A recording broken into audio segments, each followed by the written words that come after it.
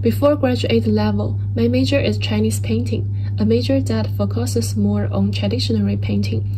Most of the time, you need to pay more attention and observe the nature around you, some flower and birds, and pay more attention to some expressions that seeing is believing, and relatively less to abstract and imagined expressions. So in the previous study, what I did was more to uncover the things I saw and the degree of independent thinking was not too big. I personally feel that this would inevitably have a constraint on my creation. The illustrations looks very different from Chinese paintings, which makes me feel that the forms are very diverse and not um, restricted. The way of expressions is more inclined to my own thinking and creativity. In the process of constantly contacting illustrations, I also prefer to learn to break my previous confinement of sorts. In retrospect, um, my interest in illustration stemmed from some magazine covers I saw in the high school, which contained all kind of interesting and creative illustration covers. In the later GDCP course, I was also exposed to designing book covers for the first time. During the design process, I quickly recall the moment when I became interested in illustration.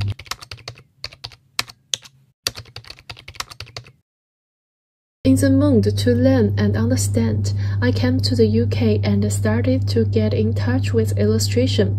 Starting from brainstorming, mind map, step by step, uh, we do a variety of practice from how to think to how to experiment, uh, including visiting various museums, art galleries, feeling the author's intentions through our own eyes, and in reflect on this process.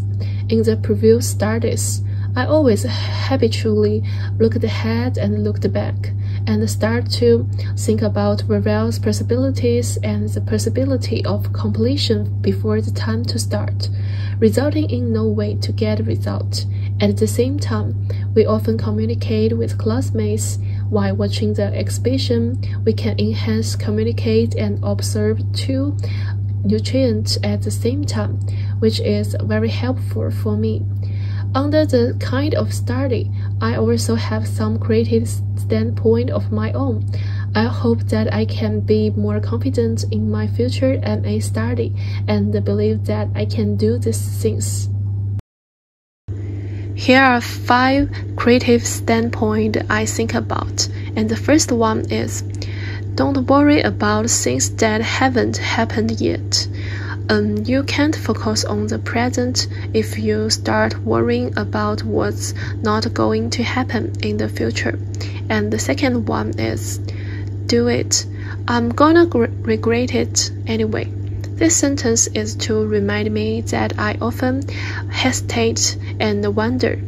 Anyway, um, if I do these things, I will think a lot and easily regret it. It is better to do it boldly. And the third one is listen to your own voice.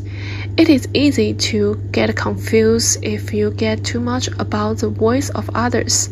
Why don't you just calm down and listen to your own voice? And the first one is don't deny yourself. Deny yourself will only hit yourself. fundamentally, let yourself become worse and worse. More can't progress. And the last one is know what you want. Knowing what you want will make your goal clear and keep you moving forward. And this is what I say and what I think about. I hope I can believe this standpoint in the future when I get some confused.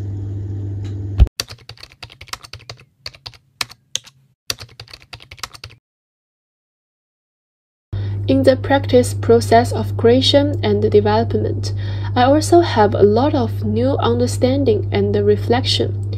It was before graduate school, when I was preparing a portfolio, I first came into contact with various processes that an illustration work needs to go through. Starting from the mind map, there will be so many output processes in the middle it turns out that research is so important. It turns out that experience is so is also a very important part of the production process. And in the process of creation, I'm, I'm also gradually changing the previous thinking mode. In the process of each creation, I ask myself a few more why and what. Why do I want to do these things? Or why do I use this method? What do I want to convey through this? What is my own thinking process on this topic? By asking myself some question repeatedly and through the logical chain of layers, I can sort out I can sort out the logical of my creation more more clearly, so that in the creation, creative process I'm not at a loss, uh, and uh, it is more helpful for me to convey my work. Combined with the feedback at the end of course in the last semesters of GDCP, I also find some problems in the process of communication. I need to con convey more about how I think about the process of the work because I always organize the work from the first perspective of the work language, but forgot to convey to others what is my ideas in the current state of the work, and I always seem to express it in a leap. In addition, our course often have moments that require groups discussions. In the process of the mutual feedbacks from other peers. It seems that we can always get some suggestions from others from a third party perspective, uh, which is always in trouble in the creative project, process. Very helpful for me. And similarly, academic uh, academic uh, critical thinking and critical writing is also very necessary in GDCP course which means that your thinking is academic and critical, that you can summarize your own views and ideas from the perspective of others, and go critical thinking. Look at the problems.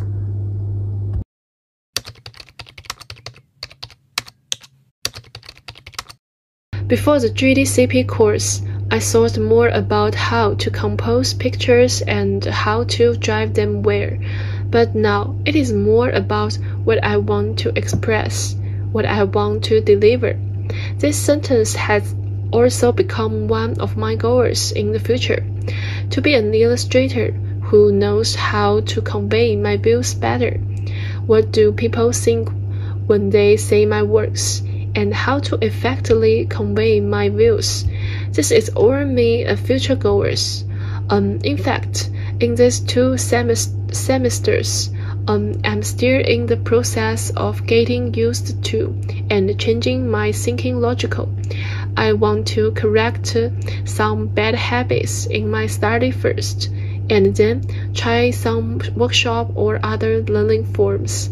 I vaguely remember that in the first class, after the teacher asked me about my major, she asked me if I had any ideas to combine um, my previous major with illustrations. I still remember this. So after so after getting used to the GDCP course, I want to make more attempts in my project, such as combining some unfamiliar topics with familiar materials or using some combining the learned painting technique techniques and illustrations. Um, I will work hard to create my own painting styles in the future and at the same time express more of what I want to express because I always believe that our works can reach places that we cannot reach.